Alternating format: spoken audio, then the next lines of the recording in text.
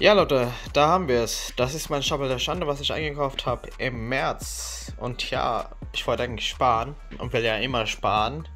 Aber das kommt dann dabei raus, wenn man was Bestimmtes will. Und ja, man will ja auch erfahren, wie es weitergeht. Und jetzt zeige ich euch gleich meine Stapel, damit ihr wisst, was dabei rausgekommen ist. Auf geht's! Ja, willkommen zum neuen YouTube-Video. Heute stelle ich euch mein Update für den Monat März. Ich wollte das Ganze schon vorher produzieren, es war leider nicht möglich, weil ich war viel unterwegs, da war ich noch beschäftigt.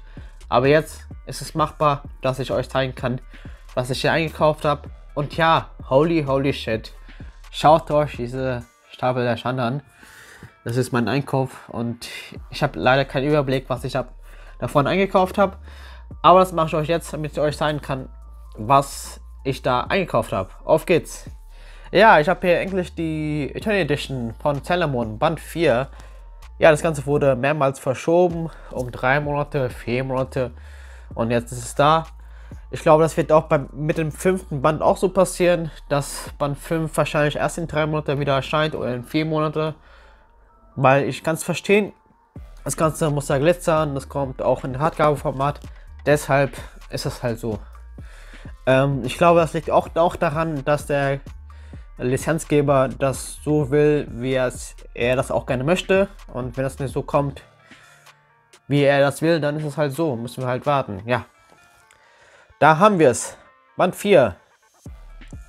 Und Band 5 kostet dann, glaube ich, 28 Euro. Weil es ist ein bisschen dicker. Deshalb. Und dann mit Band 6, glaube ich, auch wieder 25 Euro kosten. Genau.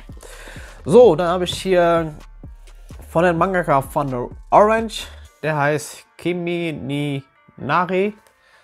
Ist ein Einzelband, kostet 7,50 Euro. Und da geht es um natürlich Musik. Und ich liebe Musik. Ich habe ja Back gelesen. Dann lese ich jetzt auch noch Blue Giant Supreme. Auch sehr nice. Da kommt auch eine zweite Serie, beziehungsweise die erste Reihe von Blue Giant Supreme. Und ja, das ist natürlich auch sehr nice. Da hat mich auch gefreut. Ja. So, dann habe ich hier was ganz Besonderes von Geo Taniguchi, was ich auch eingekauft habe. Wollte ich schon vorher kaufen, aber es war leider nicht möglich, weil das Ganze kostet ja 22 Euro. Deswegen ist es halt das Problem gewesen, dass ich damals noch nicht gekauft habe, noch nicht, beziehungsweise nicht getraut habe, das zu kaufen. Und jetzt habe ich das ähm, gekauft und auch nachgeschaut, worum es geht. Da gibt es kurz Stories und verschiedene halt Story, ne? Und ja, wie heißt der Manga? Unruhige Geister und stille Gefährten.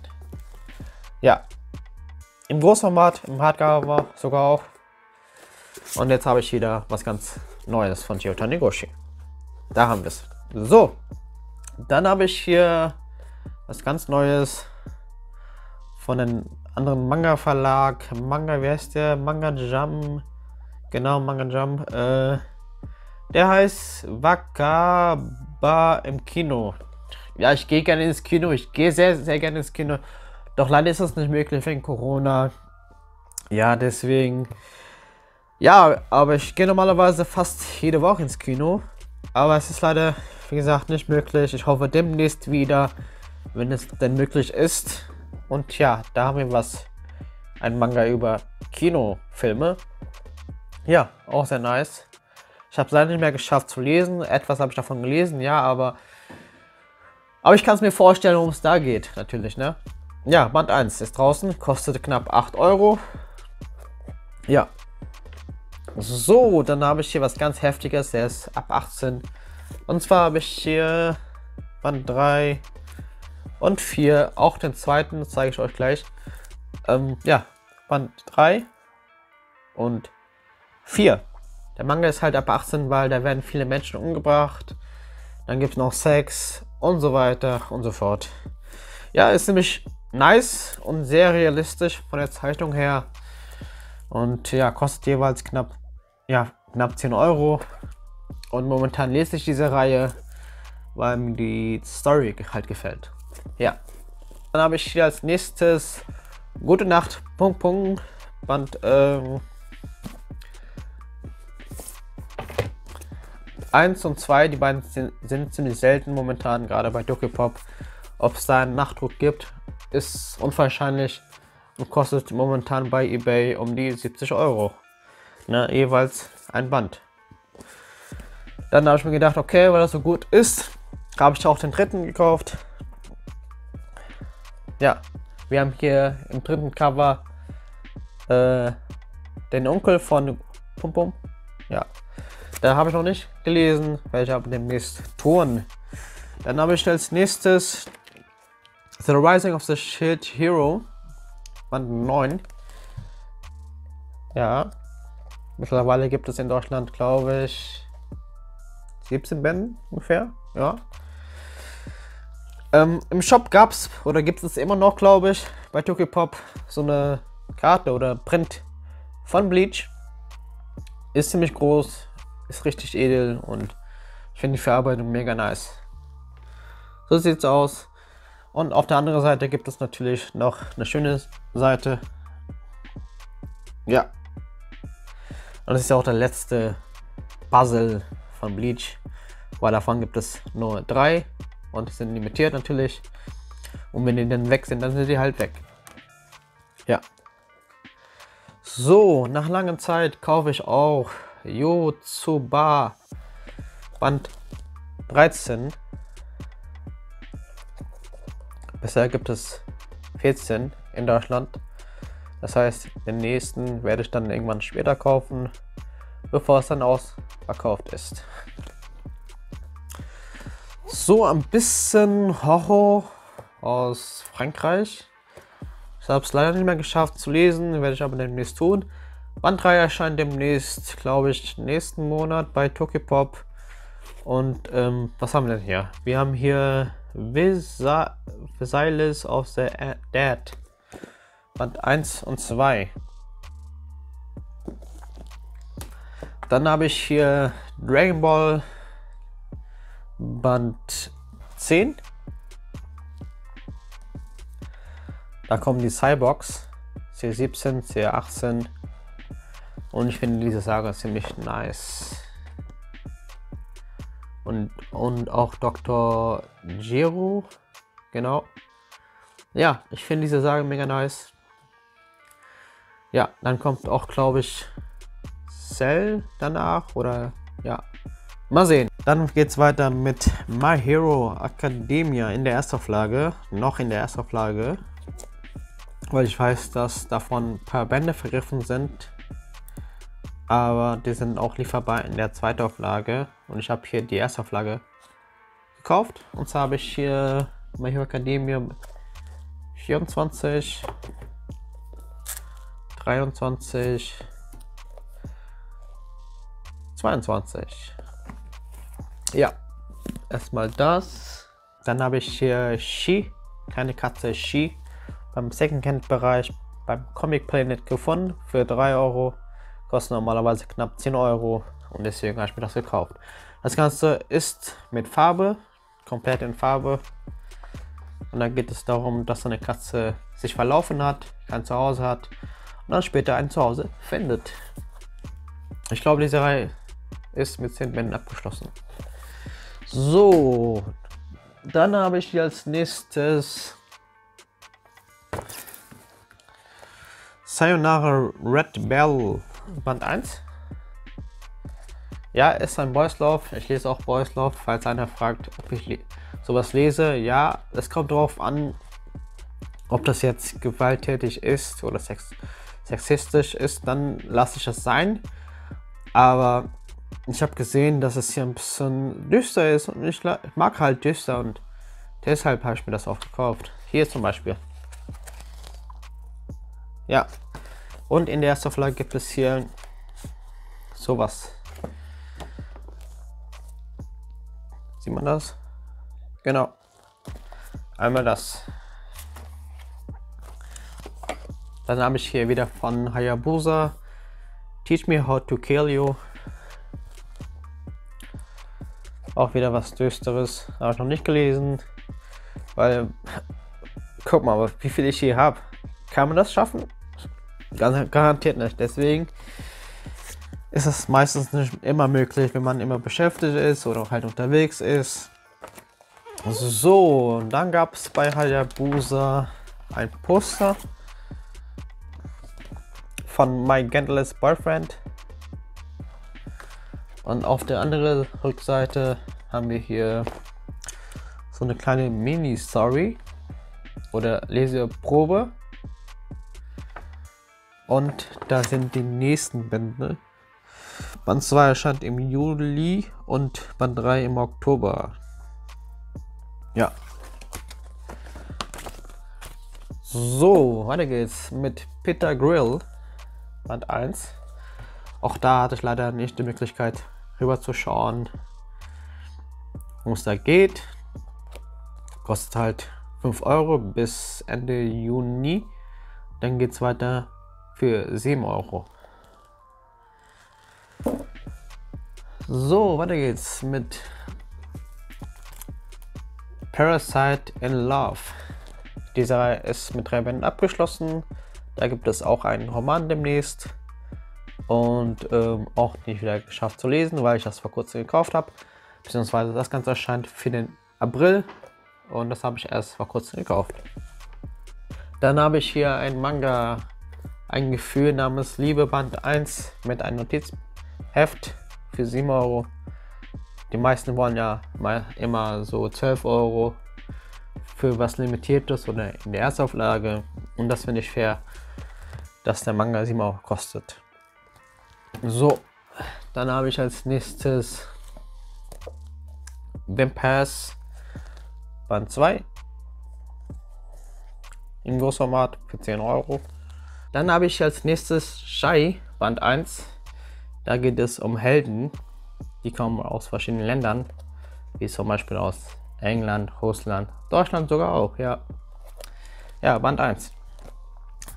Weiter geht's wieder mit einer neuen Serie, alles fast neu. Ähm, The Dungeons of Black Company. Ja, ist nämlich nice. Da gibt es auch eine Serie demnächst als Anime. Ich habe angefangen zu lesen. Da geht es um einen jungen Mann, der meinte, weil er so viel Geld hat, dass er nicht mehr arbeiten muss und dann später in eine andere Welt auftaucht und doch arbeiten muss, weil er keine andere Wahl hat. Ja, weil er gehofft hat, dass er nicht mehr arbeiten muss und jetzt doch. Tja, so ist das Leben. Hart, aber auch ungerecht, ja. So, weiter geht's mit Solo Leveling Roman. Ist ja mit 8 Bänden abgeschlossen.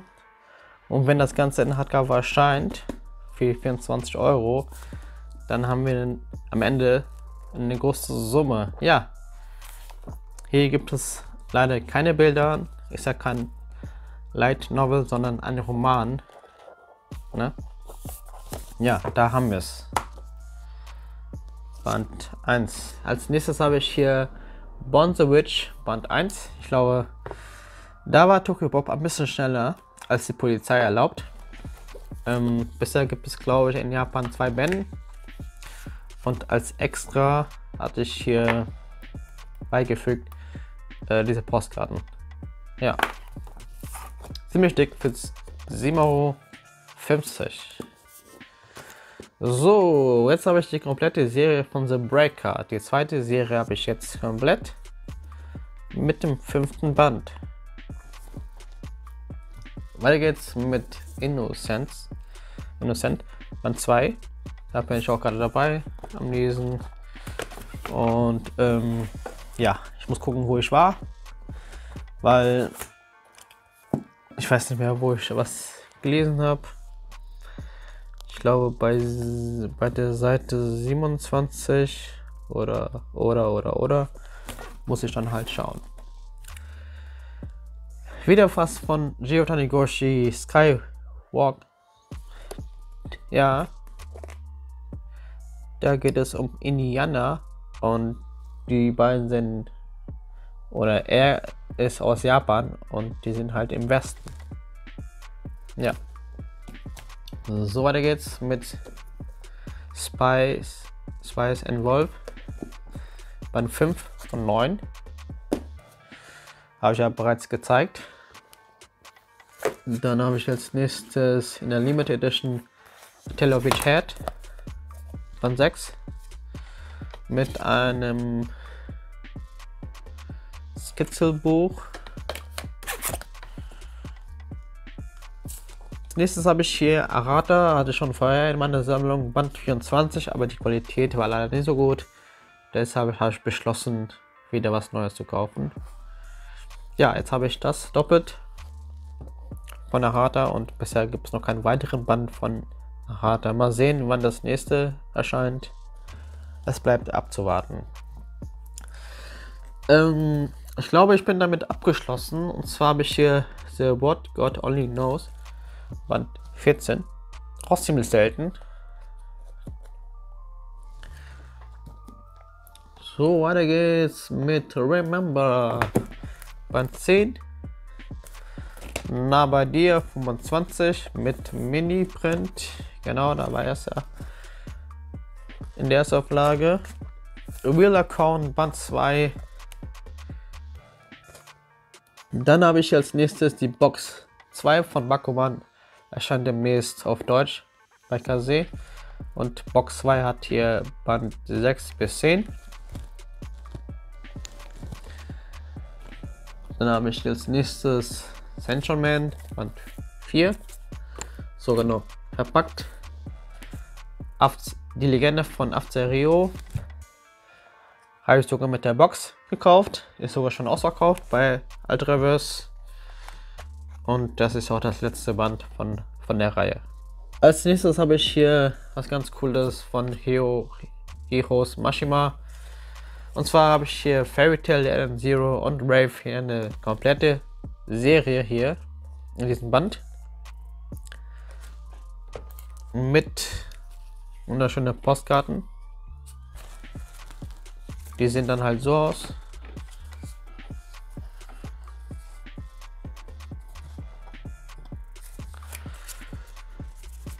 Ich glaube, da gab es auch ein Notizheft oder eine Mini-Story.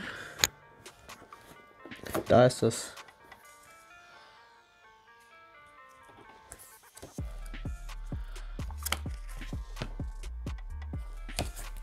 Ja, dann habe ich hier den zweiten Band von Bittering with You. Run Away with My Girl. Band 1.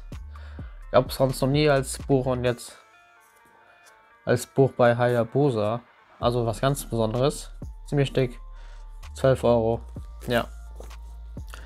Ab sofort Schwester Band 2. Dann habe ich hier Kult die Kreatur in der Limited Edition gekauft. Ich weiß nicht, ob ich das schon gezeigt habe, aber das mache ich auch jetzt in diesem Video. Ähm, da gab es eine Kette und eine Tasche dazu.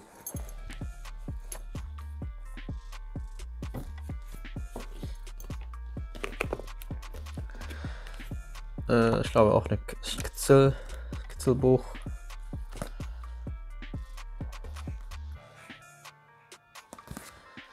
Ähm, so ist das hier so verbogen. Äh, ein Mini-Print. Wieso ist das hier so verbogen, Alter? Ja, Band 1 ein bisschen verbogen. Und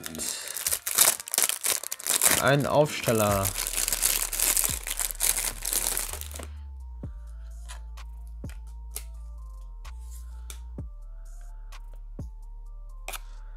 Alter, ist es dein Ernst? Wieso ist das kaputt? Äh, Alter, wieso ist das kaputt? Ist das dein Ernst? Das muss man da umtauschen, wenn das kaputt ist. Oder bin ich blind? Das sieht doch kaputt aus. Seht ihr das? Hier in der Ecke ist ein bisschen kaputt. Wie ist das denn passiert? Naja. Ich glaube, ich werde es dann umtauschen, weil ich mag sowas nicht, wenn das dann halt kaputt ist. Und zu guter Letzt habe ich hier noch Citrus Plus oder Plus in der Limited Edition geholt. Band 2. Und wenn man hier drüber geht, dann riecht das hier nach Zitrone. Ja. Band 2. So, ich glaube, das wär's. Ich glaube, das wär's, glaube ich. Jupp, so sieht's aus. So, das war's jetzt von meiner Seite aus. Ich hoffe, euch hat das Ganze gefallen. Lasst mir doch schon da und dann sehen wir uns hoffentlich am Ende des Monats wieder. Dann zeige ich euch, was ich eingekauft habe. Und ich hoffe, dass ich bis dahin nicht so viel Geld ausgegeben habe, so wie jetzt. Ja, jetzt, ne? Ich muss das Ganze hier noch aufräumen und auch noch schauen, was ich als erstes lesen werde. Ich hoffe mal mit Rainbow Band 10 oder halt mit Innocent und so weiter und so fort. Gut, das wär's. Ihr könnt auch gerne in die Kommentare schreiben, was ihr eingekauft habt, wie viel habt ihr denn ausgegeben und was habt ihr gelesen. Dann, wie gesagt, bis dahin, Peace.